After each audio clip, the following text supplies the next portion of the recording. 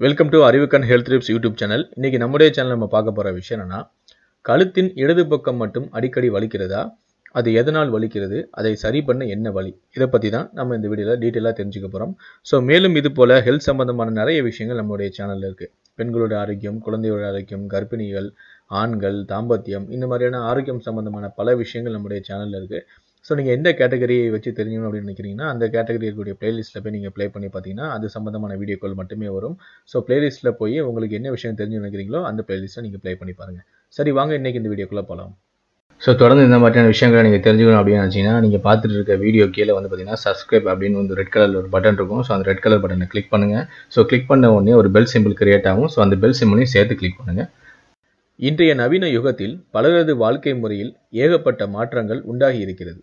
நாள் முழுவதும் ஒரே இடத்தில் உட்கார்ந்து பார்க்கக்கூடிய வேலை அதைவிட கணினி முன்பாக மணிக்கணக்கில் உட்கார்ந்து இருக்கிற வேலைதான் இன்றைக்கு பெரும்பாலானோர் விரும்பப்படுகிறது. இதனால் பல இளைஞர்களுக்கு முதுகு வலி கழுத்து வலி ஆகியவை ஏற்படுகிறது. டெஸ்க் ஜாப் என்று தேடி தேடி தேர்ந்தெடுப்பதனால் உண்டாகும் சோம்பேறித்தனத்தினால் ஏராளமான உடல்நல ஆபத்துகளும் ஏற்படுகிறது. இவற்றையெல்லாம் இவர்கள் இறுதியில்தான் தெரிந்து கொள்வார்கள். இவற்றில் முதன்மையானது பெரும்பாலான மக்களால் அவதிக்குள்ளாகும் பிரச்சனை எது என்றால் அது கழுத்து வலிதான். கழுத்து வலிதானே என்று நாம் சாதாரணமாக எடுத்துக்கொள்வது உடல்நலையில் பெரிதும் பிரச்சனையை உண்டாக்கிவிடும். நாம் உட்கார்ந்து பொசிஷன் மற்றும் கணினி வைத்திருக்கும் பொசிஷன் இரண்டுமே கழுத்து வலிக்கு மூல காரணியாகும். கழுத்து நரம்புகள் முதுகு தண்டுடன் இணைந்திருப்பதால் கழுத்து வலியுடன் கழுத்து வலியோடு சேர்ந்து நமக்கு முதுகுத்தண்டு வலி மற்றும் பிடிப்பு ஆகியவும் ஏற்படக்கூடும். சில நேரங்களில் கழுத்து வலி தோள்பட்டை வலியாகவும் அடையாளப்படுத்தப்படும்.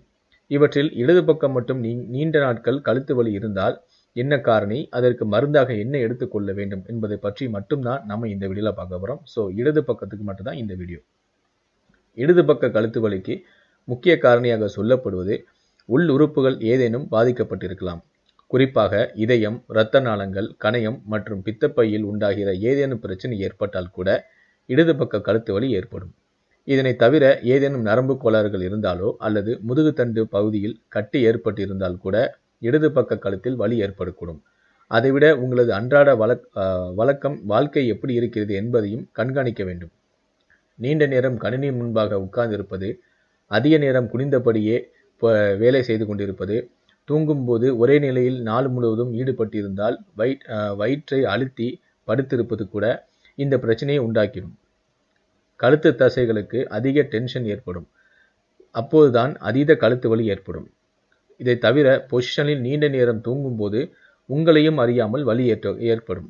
நீண்ட நேரம் ஒரே பொசிஷனில் இருப்பதால் கழுத்து தசை டெம்பராக ஒரே நிலையில் வைத்திருப்பதாலும் தசை சோர்வடையும். ஏதேனும் காயத்தினால் அதுவும் உள்காயம் ஏற்பட்டிருந்தால் கூட கழுத்து வலி ஏற்படக்கூடும். குறிப்பாக பிப்லாக் எனப்படக்கூடிய நிதானமில்லாத திடீர் அதவினால் கூட கழுத்து வலி ஏற்படலாம். சில நேரங்களில் தோட்பட்டை வலி மயக்கம் ஏற்பட்டால் கூட இந்த பிரச்சனை ஏற்படுவதற்கு கூட வாய்ப்புண்டு. அதுக்கப்புறம் செர்விக்கல் ஆஸ்டியோ ஆர்த்தரைட்டிஸ் இந்த பிரச்சனை ஏற்பட்டால் கூட உங்களுக்கு கழுத்து வலி ஏற்படும். அதீத எடை தூக்கினால் கூட கழுத்து வலி ஏற்படும். சில நேரங்களில் கழுத்தில் வலியை தாண்டி முன் அறிகுறியாக சில வித்தியாசமான உணர்வுகளும் கூட உங்களுக்கு ஏற்படுவதுண்டு. போன் இஸ்ப்ரூஸ் என்றும் பிரச்சனை ஏற்பட்டிருந்தால் கழுத்தின் அசைவுகள் குறைந்திடும். சாதாரணமாக கழுத்தின் அசைவுகளுக்கு கழுத்தில் இருக்கும் தசைநார்கள் எளிதாக அசையும் வண்ணம் இருக்க வேண்டும். அதுக்கப்புறம் வந்து பார்த்தீங்கன்னா ஃபிப்ரோம் ஃபிப்ரோம் யால்கியா என்ற ஒரு வகை நோய் பாதிக்கப்பட்டிருந்தால் கூட உங்களுக்கு இடது பக்க கழுத்து வீங்கலாம். சாரி வீங்கவும் செய்யலாம் வலிக்கவும் செய்யலாம்.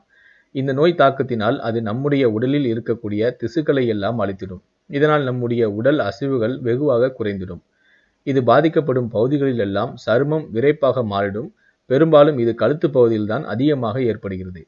வீக்கத்துடன் கூடிய வலி அல்லது கழுத்தை திருப்பி பார்ப்பதில் அதுக்கப்புறம் வந்து குனிந்து நிமிர்வதில் சிக்கல் அல்லது வலி ஏற்படுவது இதற்கு ஆரம்ப அறிகுறியாக கருதப்படுகிறது. நான் இவருடன் சொன்ன இந்த விஷயங்கள் எல்லாமே இந்த நோயை தவிர இடது பக்க கழுத்து வலிக்கு இன்னும் பிற காரணங்களும் சொல்லப்படுகிறது. அதாவது புற்றுநோய் தைராய்டு சுரப்பியல் தாக்குகிற புற்றுநோயின் முதல் அறிகுறியாக இந்த கழுத்து வலிதான் இருக்கிறதாம். ஆனால் தைராய்டு சுரப்பி புற்றுநோய் இவையெல்லாம் மிக அபூர்வமாக தான் தாக்குகிறது. அதை தவிர கட்டி முதுகுத்தண்டில் ஏற்படுகிறது கட்டி ஆகியவற்றிற்கு கூட இடது பக்க கழுத்து வலி ஏற்படக்கூடும். இடது பக்க கழுத்து வலி பெரும்பாலும் உங்களுடைய அன்றாட நடவடிக்கையினால் மட்டுமே ஏற்படுவதால் வலி ஏற்பட்டவுடன் உங்களுடைய வாழ்க்கை முறையை ஒரு முறை நீங்கள் சரிபார்ப்பது நல்லது. தொடர்ந்து நீடித்தால் உடனடியாக மருத்துவர் ஆலோசனை பெற்றிடுங்கள். ஏனென்றால் இது புற்றுநோய் மற்றும் தசைகளை உருக்கிடும் நோயின் அறிகுறியாக கூட இருக்கலாம் என்பதால் ஆரம்பத்திலேயே கண்டுபிடிப்பது ரொம்ப ரொம்ப நல்லது. மேலும் உடல் எடை அதிகரிக்காமல் இருந்தால் கூட கழுத்து வலி ஏற்படும். இதனால் உடல் எடையை குறைத்திடுங்கள். அதே போல அதிக எடையுள்ள பொருட்களை தூக்குவதை தவிர்க்க வேண்டும். சரியான தூக்கம் மற்றும் முறையான உணவு பழக்கம் இருந்தாலே இதனை மிகவும் எளிதாக குறைத்திடலாம். பொதுவாக வாயுவின் சீற்றத்தை அதிகரிக்கக்கூடிய உணவுகளை குறைத்து எளிதில் ஜீரணமாகக்கூடிய சத்துள்ள பொருட்களை உண்பது நல்லது. கீரை வகைகளை அதிகமாக சேர்த்துக்கொள்ள வேண்டும். குறிப்பாக மொச்சை உருளை தக்காளி இதுவெல்லாம் வாயுவை உண்டாக்கக்கூடிய உணவுகளை நீங்கள் தவிர்த்திட வேண்டும். இதை உடனடியாக சரி செய்யக்கூடிய நிவாரணம் இயற்கை முறை என்னவென்றால் நொச்சி இலைகளை எடுத்து நன்கு இடித்து சாறு பிழிந்து அதுடன் சம அளவு நல்லெண்ணெயை சேர்த்து காய வைத்து அதனை வலி உள்ள இடத்தில் தேய்த்து வெந்நீரில் வாரம் இருமுறை குளித்து வந்தால் கழுத்து வலி குறைய வாய்ப்புண்டு. இந்த ஆரோக்கியமான பதிவு உங்களுக்கு பிடித்திருந்தால் இந்த வீடியோக்கு ஒரு லைக் கொடுங்க. மேலும் இது போல் ஆரோக்கியம் சம்பந்தமான விஷயங்கள்லாம் நீங்கள் தெரிஞ்சுக்கணும்னு நினச்சிங்கன்னா மறக்காமல் இந்த சேனல் நீங்கள் சப்ஸ்கிரைப் பண்ணுங்கள் இந்த தகவலை உங்களுடைய உங்களுடைய நண்பர்களுக்கும் ஷேர் பண்ணுங்கள் அவருடைய ஆரோக்கியத்தின் மீது உங்களுக்கு அக்கறை இருந்தால்.